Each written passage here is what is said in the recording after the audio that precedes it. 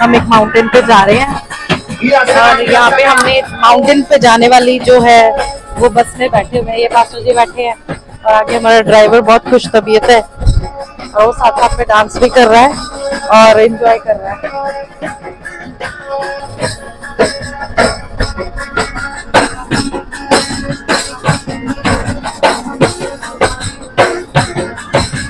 कैसा लग रहा है पास्टर जी?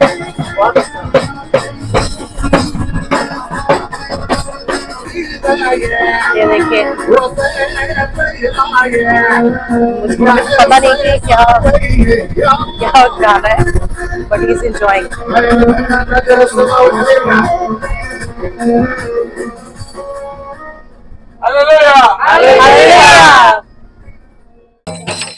तो अभी हम लोग आए हैं माउंट टबोर पे, जहाँ प्रभु यीशु मसीह का रूपांतरण हुआ था।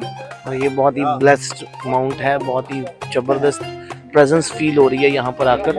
यहाँ पर यीशु मसीह का रूपांतरण हो गया था। और हम यहाँ उस चर्च के अंदर एंटर कर चुके हैं। मतलब हम रास्ते में हम जा रहे हैं वहाँ पे मैं आपको दिखाना चाहती हूँ हमारे पीछे यहाँ पे वो चर्च बना हुआ है। और ये church the mount of Tabor के नाम से जाना जाता है। हाँ, आप पवित्र शास्त्र बाइबल में पढ़ते हैं कि प्रभु यीशु मसीह जब इस पर्वत पर प्रार्थना कर रहे थे और उनका रूपांतरण हो गया, उनका रूप बदल गया, चेले क्या देखते हैं कि प्रभु यीशु मसीह के वस्त्र जो थे वो बर्फ़ के समान सफ़ेद हो गए, उसके अंदर से सूरज जैसी किरणें निकलना शुरू हो गई। और ये अभी हम उस चर्च में एंटर करने के लिए जा रहे हैं। ये देखिए कितना ब्यूटीफुल बना हुआ है।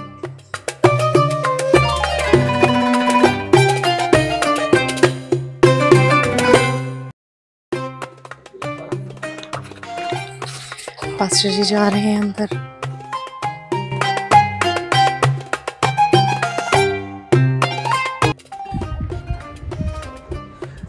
सारी कलिसिया को मैं बताना चाहता हूँ कि इस वक्त मैं हूँ माउंट टबोर के ऊपर इन साइकोलॉजिस्ट कहते हैं कि माउंट टबोर एक वो जगह है, ये वो माउंटेन है जहाँ पर प्रभु यीशु मसीह का रूपांतरण हुआ था, जहाँ पर प्रभु यीशु मसीह जब प्रार्थना कर रहे थे तो उनका चेहरा बदल गया था, उनका रूप बदल गया था। और योहन्ना, पत्रस और जेम्स के साथ प्रभु यीशु मसीह इस पहाड़ पर आए और इस पहाड़ के ऊपर जब वो प्रार्थना करने लगे और बाइबल बताता है कि प्रार्थना करते करते उनका रूपांतरण हुआ, उनके कपड़े बर्फ़ के समान हो गए और उनके अंदर से जलाल की किरणें निकलना शुरू हो गई। और इस रूप को जब हम पवित्र बाइबल में पढ़ते हैं तो ये सेम वो जगह है जहाँ पर मैं खड़ा हूँ और यहाँ पर प्रभु यीशु मसीह का रूपांतरण हुआ और एलिया लिखा है।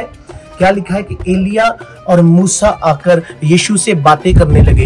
जब प्रभु यीशु मसीह यरूशलेम में जाने वाले थे, उससे पहले ये वाक्य हुआ है, उससे पहले ये बात हुई है। जब आप पवित्र बाइबल में पढ़ेंगे तो आपको अच्छे से समझ आ जाएगी। और मूसा और एलिया आकर प्रभु यीशु मसीह से बातें करने लगे और उसी याद में बहुत अच्छा चर्च बनाया हुआ है, बहुत अच्छा भवन बनाया हुआ है। अगर आप लेफ़्ट पिलर को देखते हैं तो ये प्रॉफिट एलिया को रिप्रेजेंट करता है। आप राइट पिलर को देखते हैं, ये चैपल हैं छोटे छोटे ये प्रॉफिट मोजेस को रिप्रेजेंट करता है। और सेंटर में एक बहुत अच्छा सुंदर गेट है जो यीशु मसीह की तस्वीर को रिप्रेजेंट करता है हमारे लेफ़्ट साइड पे एलिया राइट साइड पे मोजेस और मिडिल में जीसस क्राइस्ट और एक सवाल हमारे सामने खड़ा होता है कि प्रभु यीशु मसीह एलिया और मूसा से ही क्यों मिले? क्योंकि मूसा जो है, वो लॉ को लेकर आया और एलिया जो है, वो प्रोफेसी को लेकर आया और प्रभु यीशु मसीह ने लॉ को भी पूरा किया और प्रोफेसी को भी पूरा किया।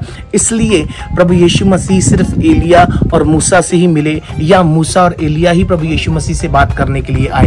द लॉर्ड आप सबको बताना चाहता हूँ कि इस वक्त हम माउंट टबोर पे खड़े हैं और हमारे बिल्कुल सामने माउंट कार्मल है। ठीक वो पहाड़ जहाँ पर एलिया नबी ने बाल के साढ़े चार सौ पुजारियों को शर्मिंदा किया था। और मैं आपको बताना चाहता हूँ कि जब बाल के साढ़े चार सौ पुजारी सुबह से लेकर शाम तक अपनी घंटियाँ बजाते रहे। सुबह से लेकर शाम तक अपने देवते को पुकारते रहे और बलि को रखकर बैठे रहे और कहते रहे कि अगर हमारा देवता सच्चा है तो हमारी बलि को जलाएगा। उन्होंने अपनी बॉडी से ब्लड निकाल लिया, लेकिन उनकी वर्शिप का, उनके देवता के ऊपर कोई भी असर नहीं हुआ। लेकिन एलिया नबी उठा, उसने कहा कि जो बलि यहाँ पर रखी है, मैं इसको सूखा नहीं जलाऊँगा। इसके ऊपर पानी डाल दो। इसके उसको और ज़्यादा गीला कर दो। और उसने एक वर्ड अपने मुँह से कहा, उस पर्वत के ऊपर एलिया ने कहा कि यहोवा आज बाल के पुजारियों को दिखा दे कि तू ज़िंदा खुदा है। इस वर्ड को खुदा ने सुनकर आसमान से आग भेजी और जैसे ही वो आग उस बलि पर पड़ी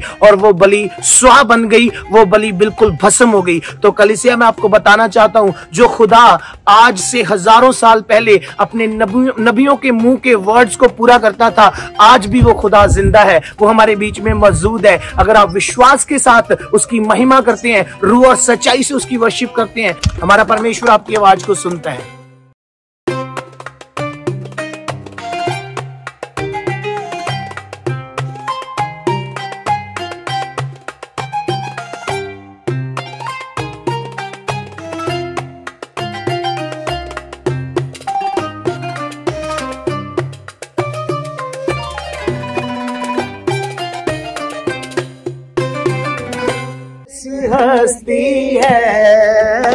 आ मुझको सहारा दे बरकत दे यीशु बरकत दे बरकत दे यीशु बरकत दे बरकत दे यीशु बरकत दे बरकत दे यीशु बरकत दे।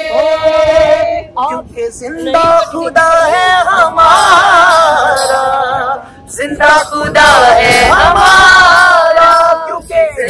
खुदा है हमारा। ज़िंदा खुदा है हमारा। चाँद सूरज की प्रस्तिश हम नहीं करते। दुनिया के माबूतों के आगे नहीं झुकते? क्योंकि ज़िंदा खुदा है हमारा। ज़िंदा खुदा है हमारा। क्योंकि ज़िंदा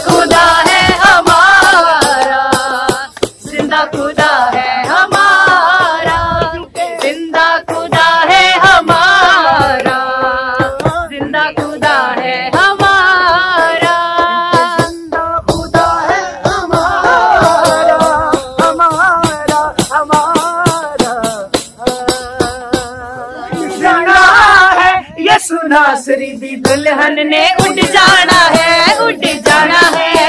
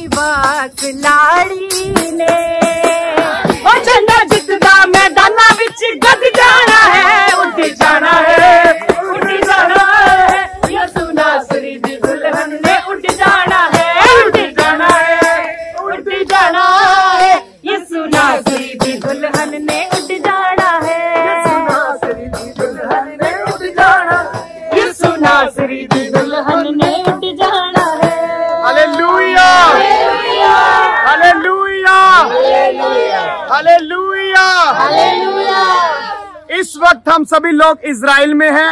हमारे साथ है पास्टर शमे हंस जी सिस्टर परिहंस जी और भी हमारे साथ हमारी सारी संगत आई हुई है।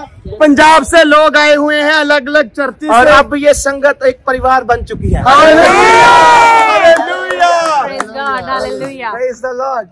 ये देखिए इसराइल में अनार का size look at this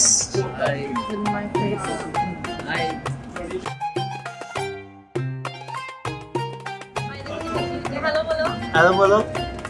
hello. देखो कितना क्यूट बेबी है। ये भी इसराइली है। प्रभु यीशु के देश का है। और आज का व्लॉग हम यही फिनिश करते हैं। आप सभी को right away from Israel shalom God bless you और अभी अभी जस्ट हम अपने होटल पहुँचे और आपको एक गुड न्यूज़ देना चाहते हैं, एक सरप्राइज़ जो हमें भी मिला कि हमारा जो होटल है, वो कहाँ पर है, पास्टर? हमारा hotel the sea of Galilee Galilee की झील के ऊपर है। सामने वो झील है जहाँ पर प्रभु यीशु मसीह पानी पर चले थे। जी। और हम कल आपको दिखाएँगे। और कल के ब्लॉग में हम दोबारा मिलेंगे। परमेश्वर प्रभु यीशु मसीह आपको बहुत ब्लेस करे बरकत दे। हमारी दुआओं में आप सभी हैं। अगर आप अपने प्रेयर रिक्वेस्ट हमें भेजना चाहते हैं तो आप कमेंट बॉक्स में अपने प्रेयर रिक्वेस्ट लिख सकते हैं। अगर आप कॉल करके प्रार्थना करवाना चाहते हैं तो प्रेयर लाइन नंबर है zero one six zero five double zero eight triple zero इस नंबर पे आप कांटेक्ट कर सकते हैं। परमेश्वर आप सभी को बहुत बरकत दे।